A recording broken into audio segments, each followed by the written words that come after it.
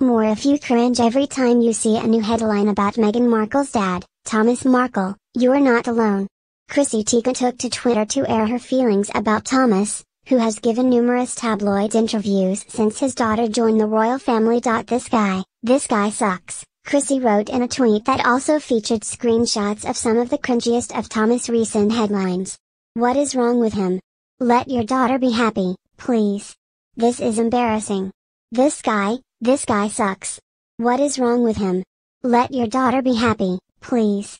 This is embarrassing pic.twitter.com slash fads5sfx Christine Teigen at Chrissy Teigen July 28, 2018 The headlines highlighted in the tweet include one in which Thomas slams Meghan for cutting off contact with him since her wedding and quotes the 74-year-old as saying, perhaps it would be easier if I were dead.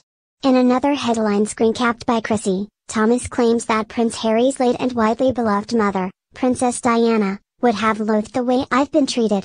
In the same headline, Thomas reportedly claims not to care if Prince Harry ever speaks to him again not that Harry could be blamed for staying silent with his in-law, if this gossip rag parade continues. This all comes after reports that Thomas Markle faked the heart surgery he claimed prevented him from attending Meghan's wedding in May and other reports that he staged paparazzi photos that appeared to show him preparing to visit her in the UK. And, of course, Markle has infamously given a string of paid, tell-all interviews since Meghan became a Duchess Chrissy is right everything about this just sucks. You might also like,